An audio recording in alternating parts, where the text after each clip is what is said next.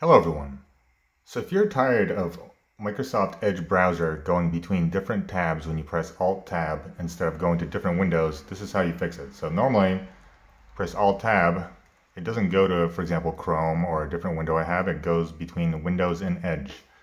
So what you want to do is click on the Start menu, you just type multitasking.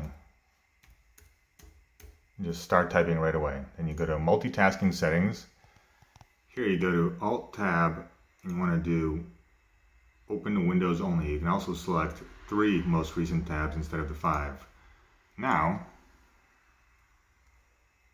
as you can see, Alt Tab is bringing me between settings and the browser. So I no longer have to feel like I'm stuck in Edge and I'm going between different windows and I'm kind of having a hard time getting out of it. That's it. You just simply go to multitasking and all you have to do to do that is just click on the start menu and just start typing. You don't have to select anything, just type multitasking and the option will come up.